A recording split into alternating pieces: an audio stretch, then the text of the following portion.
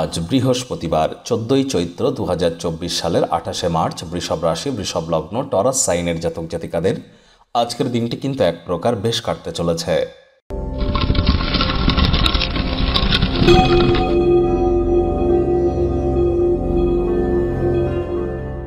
ভিডিওটির শুরুতেই আপনারা স্ক্রিনে দেখতে পাচ্ছেন বৃহস্পতির বীজ মন্ত্র।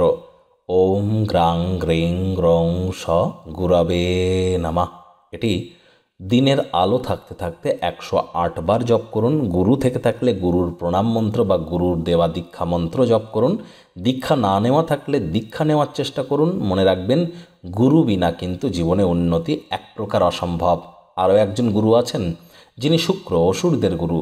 তিনি কিন্তু রাশি পরিবর্তন করতে চলেছেন একত্রিশে মার্চ, আর মাত্র দুদিন পর। যার ফলস্বরূপ আপনাদের জীবনে ঠিক কী প্রভাব পড়বে? বিস্তারিত আলোচনা সহ ভিডিও চ্যানেলে আপলোড করা হয়েছে। সময়ে সুযোগ বুঝে একবার দেখে বা শুনে নিতে ভুলবেন না। আই বাটনে আমরা লিংক দিয়ে দেব। ভাগ্যমিটার আজ আপনাদের বলছে এইট আউট অফ টেন ভাগ্য আপনাদের অনুকূলেই থাকবে। তবে স্বাস্থ্য এবং পরিবার এই দুই ব্যাপারেই আপনাদেরকে একটু সাবধানতা অবলম্বন করেই চলতে হবে। শুভ সংখ্যা থাকছে আট, শুভ রং থাকবে কালো। আজ অপ্রত্যাশিতভাবে প্রাকৃতিক সৌন্দর্য আপনাদেরকে মনোগ্রাহী করতে পারে, অর্থাৎ আকর্ষিত করতে পারে।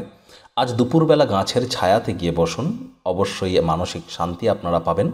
অন্যথায় কোনো প্রকার নেতিবাচক অনুভূতির আশ্রয় নিলেই হতাশা কিন্তু আপনাদেরকে গ্রাস করতেই পারে।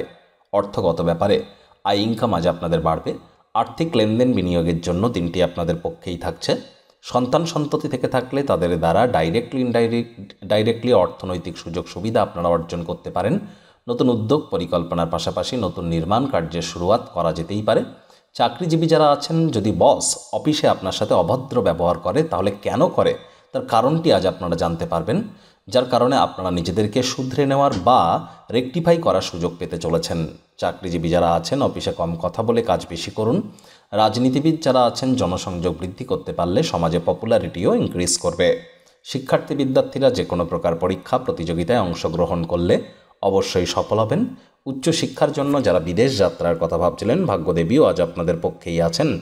সন্তান সন্ততি থেকে থাকলে তারা তাদের কৃতিত্বের দ্বারা আপনাদেরকে গর্বিত অনুভব করাবে।